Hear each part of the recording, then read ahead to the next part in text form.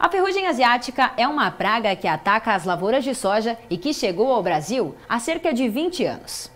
Desde então, agrônomos e pesquisadores têm desenvolvido técnicas para combater e controlar a doença. Uma das ações que surtem efeito é a identificação da presença dos fungos antes que eles contaminem as plantas. A nossa equipe foi até uma lavoura para mostrar como funciona esse trabalho.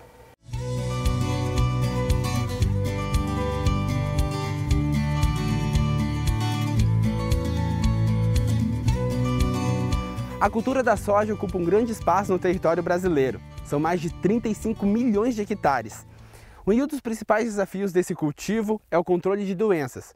Nesse sentido, o que vem tirando o sono de alguns produtores é a ferrugem asiática. Para falar sobre esse assunto, nós convidamos o professor Jorge Geller, do Centro Universitário FAG, que vai explicar sobre essa doença, né, professor? Exato. Primeiro, vamos explicar para o pessoal de casa o que é a ferrugem asiática.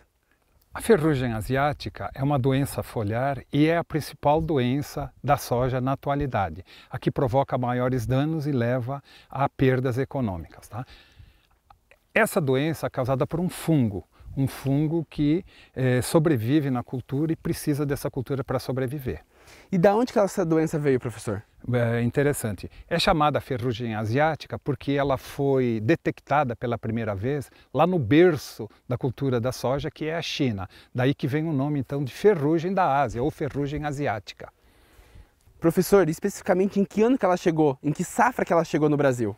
A ferrugem asiática foi detectada na América do Sul, no Paraguai, no final da safra de soja 2000-2001. Em março de 2001 ela foi detectada no Paraguai.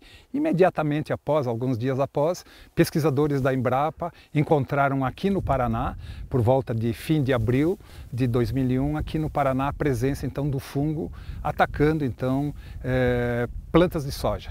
E como que ela ataca a planta, professor? Tá. O fungo da ferrugem, ele, tem, ele sobrevive em algum local, principalmente em plantas vivas de soja que passam, eh, vamos dizer assim, o inverno em plantas eh, extemporâneas, chamadas plantas guachas ou tiguera. Tá? Eh, no início do plantio, no novo plantio da nova safra, eh, por volta de outubro, novembro, quando a cultura da soja já está mais desenvolvida, tá? Eh, o fungo é retirado daquele local que ele sobreviveu, e transferido ou transportado então para as lavouras de soja cultivadas aqui no oeste do Paraná, em todo o Brasil. E ela é transmitida através do vento, então? O vento é o agente disseminador que retira do local que o fungo sobreviveu no inverno e transporta então para cultura nova. Né? Então o vento é que dissemina os esporos. Os esporos são pequeníssimos, né? muito pequenos, são invisíveis, né? facilmente levadas pelo vento. Tá? Ele foi encontrado esporos de ferrugem da soja até altitudes de 200 metros, né? ventos predominantes de 200 metros transportam é, esses esporos. Na medida que a frente de vento, a frente fria vai levando, né? eles vão caindo sobre as lavouras e, se existir condição ambiental, provocar a doença. A partir do momento que ela chega na planta, quais são as causas que ela faz para a plantação? Hum.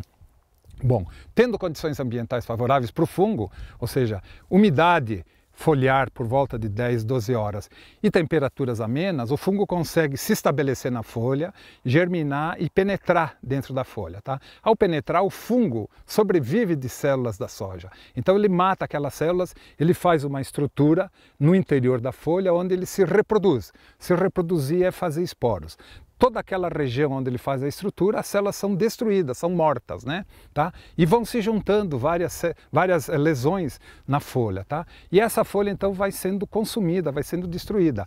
A soma das lesões faz com que a folha fique amarela e caia. A folha é o principal, é o coração da planta, né? É ali que acontece a fotossíntese. Eu vou até pegar uma folhinha aqui, professor, para a gente poder demonstrar aonde que ele gruda. Ele gruda na parte superior ou na parte inferior da, da folha. Numa situação aqui que se oferece na lavoura, é evidente que a parte superior da folha é o que oferece condições para o fungo chegar. Né? Ele chega aqui, né? se tiver condições, ele se estabelece, principalmente nas folhas baixeiras da planta, tá? Nessas folhas superiores, dificilmente ele vai se estabelecer porque não tem umidade e a temperatura é elevada, o sol pega ele e mata ele. Porém, aquele fungo que cai nas folhas inferiores, as folhas baixeiras, onde é mais sombreado, onde a temperatura é menor, onde tem um pouquinho mais de umidade, essas, essas folhas oferecem, então, condições para o fungo germinar. Portanto, a ferrugem asiática, a ferrugem da soja, inicia sempre em folhas baixeiras. É lá que a doença começa a evoluir. E ela vai, então, se propagando para as folhas superiores depois, se o agricultor não tomar as medidas cabíveis. Né? Aqui no campo a gente tem um exemplo de um método, uma ferramenta, né, professor? Que a gente pode identificar a ferrugem asiática. O professor pode explicar para a gente o que é esse contexto aqui? Tá. É, essa ferramenta que nós temos aqui no nosso lado é um coletor de esporos. Né? O coletor de esporos é uma ferramenta que captura o fungo da ferrugem da soja que é trazido pelo vento. Tá? Então, se o fungo está sendo trazido por esse vento, por exemplo, né, agora grande parte deles estão caindo, dos esporos estão caindo sobre as folhas, mas alguns vão serem capturados por esse coletor.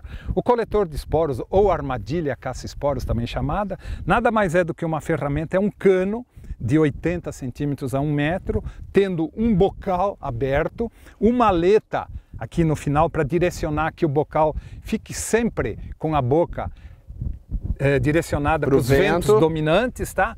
E dentro dele tem uma estrutura, tá? Uma, uma estrutura em que é colocado então uma ferramenta, tá? Em que é colocado essa ferramentinha aqui, em que é colocado uma lâmina uma lâmina com durex de dupla face. Tá? Uhum. Tá? Quando se instala a lâmina, a gente tira o durex protetor, o papel protetor e deixa aí. Então é um durex. Se o esporo está vindo com o vento, o vento que está trazendo esporo e que passa por aqui bate nessa, nesse durex. E se porventura tiver esporos, eles ficam grudados aqui. Tá?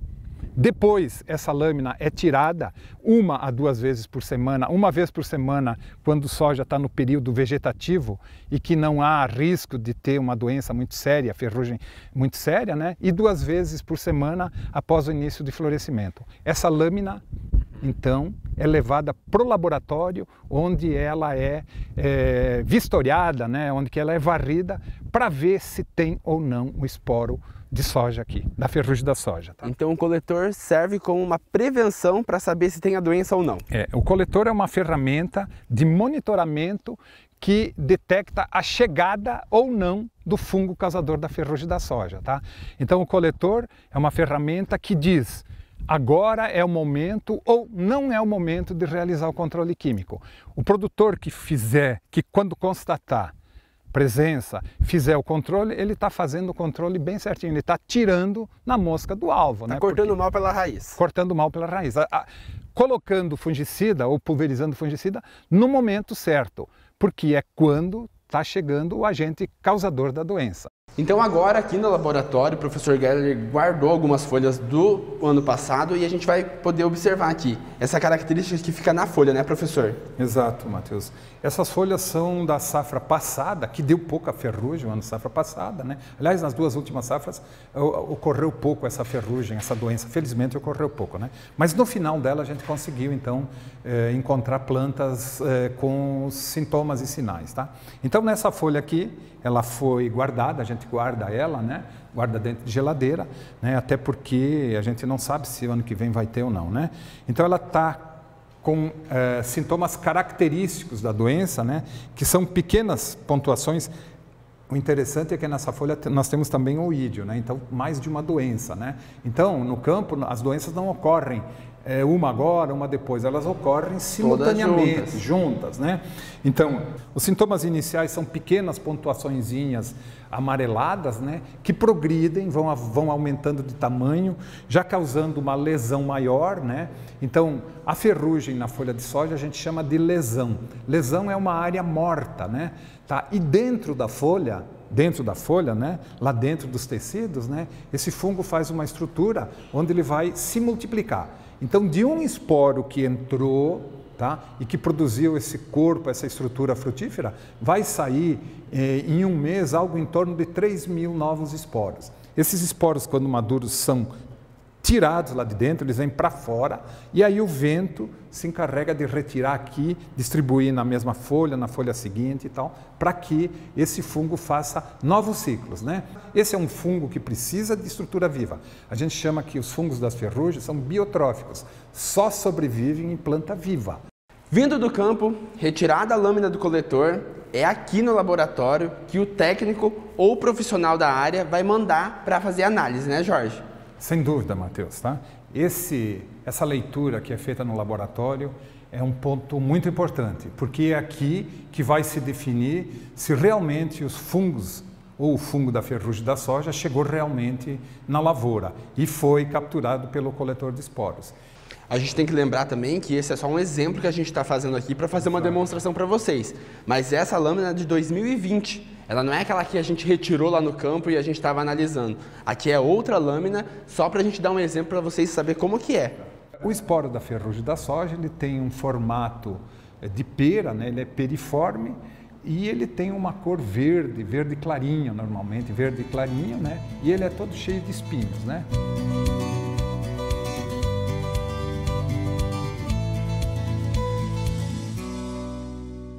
E para falar mais sobre a ferrugem asiática, nós recebemos aqui no estúdio o coordenador regional de projetos do IDR Paraná, Vicente Werner. Seja muito bem-vindo ao nosso programa e a gente gostaria de saber um pouco mais sobre a ferrugem asiática desde a sua detecção aqui no Brasil, especialmente aqui no Paraná em 2001, certo? Como é que se deu todo esse contexto até agora, Werner?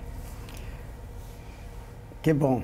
É bom nós estarmos junto com vocês aí para trabalhar, para trocar algumas ideias sobre essa importante doença no Paraná e no Brasil, que ela apareceu pela primeira vez em abril de 2001, ela foi uh, detectada aqui no estado do Paraná.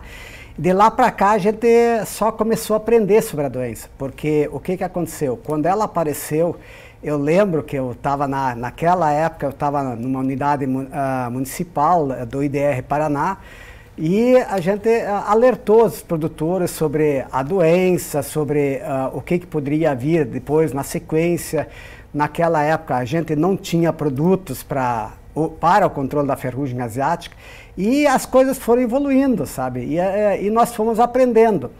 E sempre, a, junto com a pesquisa, juntamente com o Centro Nacional de Pesquisa de Soja, fui lá o pesquisador deles que descobriu a doença aqui no Paraná e nós fomos crescendo junto com eles. E nós, a extensão, também pegamos a, a questão da pesquisa e fomos orientando os agricultores nesse sentido pra, para que o agricultor ah, poderia ser bem informado e para que não tivesse aquelas perdas que eram alarmadas ou divulgadas em cima da ferrugem asiática.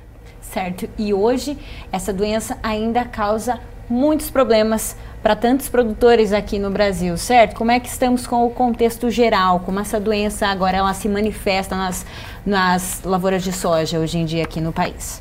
Com certeza, uh, hoje, com a tecnologia, o que, que aconteceu? Uh, as coisas evoluíram muito. Evoluíram muito. Nós temos produtos mais eficientes, mas nós temos outras formas de controle da ferrugem asiática. Entre uma das, uh, uma das formas de controle são o uso de cultivares resistentes à ferrugem, sabe? Ou tolerantes. Então, o que, que acontece? Por exemplo, nós temos hoje já no mercado diversas cultivares que são produtivas, porém, onde a ferrugem ela não causa aquele dano como numa cultivar convencional. Além disso, tem outros mecanismos também, como a rotação de culturas, que é fundamental, a questão do monitoramento, que isso é imprescindível, sabe? Você fazer o diagnóstico correto da tua lavoura, se você faz o diagnóstico correto da tua lavoura, você sempre ganha, sabe? É um ganha-ganha nesse sentido aí. Certo. Fernando, no começo, a ferrugem asiática foi um impacto muito grande. E com essas medidas que você está falando de manejo, de controle, parece que o agricultor ficou meio afoito, ele gosta de chegar e aplicar. Explica para nós o que está acontecendo com essa agricultura aí que está meio a, a, atravessando aí a parte técnica aí. Não, isso é uma grande verdade, sabe? Isso aqui, uh, o agricultor, o que, que o agricultor faz? Ele quer saber a lavoura dele bonita e limpa. né? bonita e limpa. Isso é fundamental. Agora, ele não, não faz a experiência, por exemplo, se, ele, uh, se onde ele aplica e não aplica, se tem aquele resultado. E hoje o que, que acontece? Como agricultor ele não tem toda aquela informação, ele não faz aquele diagnóstico naquela lavoura, ele uh, às vezes acha, não, se eu deixar de aplicar, eu vou perder soja, sabe? E não é sempre isso que acontece. Isso nós temos nos nossos trabalhos e, e em todos os levantamentos que nós fizemos. Isso é perceptível, sabe? Você falou diagnóstico correto. Me explica como faz esse diagnóstico. Se eu, for, eu sou agricultor, que hora eu vou passar? Como eu vou passar? Consegue fazer isso para tra transmitir isso para o nosso público aí, para mim? Não, isso, isso é muito legal, sabe? Muito legal. Né, nessa questão do diagnóstico, nós temos uh, um aparelho que nós chamamos, é bem simples, ele é, é caríssimo, com 250 reais você compra ele. Tá? Super é, acessível, né? É, super acessível. Então, se chama de coletor de esporos. Mas esse é o aparelho que você coloca lá na lavoura que nos ajuda, nos ajuda a monitorar. Agora, esse não é o segredo. O segredo é você ter uma equipe que possa uh, fazer aquelas lâminas, uh, uh, fazer as lâminas, fazer a leitura e os pontos onde a gente faz a leitura daquelas lâminas. Então, nós do IDR Paraná, nós temos na região de Cascavel sete locais que estão equipados com microscópio. Nós podemos resumir isso em que? Num pequeno laboratório, onde os nossos profissionais devidamente uh, treinados, eles fazem a leitura da ferrugem nas lâminas, ver se ela aparece ou não aparece. Com essa atitude, com essa observação, é, quanto tempo o agricultor consegue retardar a entrada na lavoura? Quanto você ele ganha uma aplicação, ganha duas aplicações, que ele deixa de aplicar, ele ganha dinheiro com isso? Ganha bastante dinheiro, bastante dinheiro. Nós, na média, para vocês terem uma ideia, no Paraná, no último ano nós tínhamos instalado 250, 245, 250 coletores no estado do Paraná. Então, são pontos onde a gente fez a, o diagnóstico da ferrugem, da ferrugem asiática, que, é, que ela é, é, está sendo disseminada pelo, pelo ar. Então, a gente coletou. Então, uh, em, em todo o Paraná, os agricultores que adotaram essa tecnologia, eles retardaram a entrada na lavoura 22 dias. 22 dias em média. Isso quer dizer, uh, isso quer dizer o quê? São uh, praticamente três semanas depois que o agricultor começou a aplicar uh, o fungicida, uhum. o nosso agricultor entrou na lavoura. Ganhou pelo menos uma aplicação, já ganhou aí. É, uma aplicação ou mais. Nós temos na média, está dando 33%. 33% Uau. de economia. Então, o que, que acontece? O, o nosso agricultor, em média, no Paraná, está fazendo 3,2, 3,5 aplicações, alguns 4, outros 5. Se você colocar isso em 33%, isso dá mais do que uma aplicação que o agricultor ganhou. Ah, se, nós pegarmos os, os números ah, mais, ah, mais exatos da nossa pesquisa que a gente tem, isso dá mais ou menos 1,3 aplicações, 1,3 aplicações a menos que o agricultor fez na lavoura. Hoje, se o agricultor do, do oeste aqui do Paraná, ou do Paraná como geral, quiser saber aonde está iniciando a ferrugem aqui no Paraná, o IDR tem condição de falar, olha, em tal lugar está iniciando as primeiras pústulas, em tal lugar está tudo verdinho, bonitinho. Tem condições? Temos, nós temos o nosso site, que nós podemos usar. Com certeza, né? o site que monitora e faz esse, esse levantamento, certo, Werner? Inclusive, a gente tem imagens aqui, se você puder explicar para quem está em casa como é, é acessível ter é, essa conexão com o site. Eu acredito que a nossa equipe até separou a imagem. Pode explicar para nós um pouquinho mais? Esse é o site do DDR que faz esse, esse monitoramento, certo? Exatamente. Nesse site, nós podemos verificar, por exemplo, os pontos vermelhos. Os pontos vermelhos foram onde a gente já detectou a presença dos esporos no coletor. Porém, não são, não quer dizer que o agricultor precisa aplicar. Como o clima está seco, está muito quente, o fungo não se multiplica.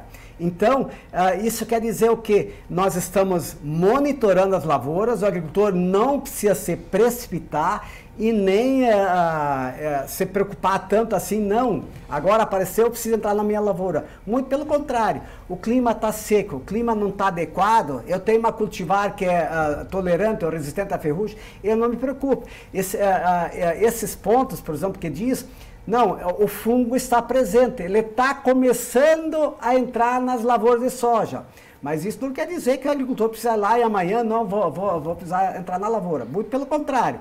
Com certeza. Então a gente pode ver, né, professor Celso, que tem uma série aí de, de providências que os produtores podem tomar em parceria sempre com o pessoal do IDR Paraná, Correto. uma série aí de pesquisadores, extensionistas, toda a equipe que está trabalhando em prol aí desse manejo, desse monitoramento da ferrugem asiática, que é ainda uma praga que dá dor de cabeça para os produtores, mas que pode aí ser muito bem controlada, né, professor Celso? Correto, correto.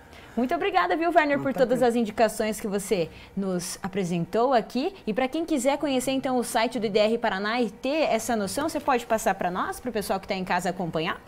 É, o site é muito simples, é Alerta Ferrugem IDR Paraná, ou Alerta Ferrugem Embrapa. É, é, a pesquisa que lá vai abrir exatamente esse site que, que foi divulgado é muito simples e lá vai, ah, vai mostrar os pontos onde já foi detectado, né, onde foi detectada a ferrugem asiática, mas porém não é de se precipitar e nem de se apavorar.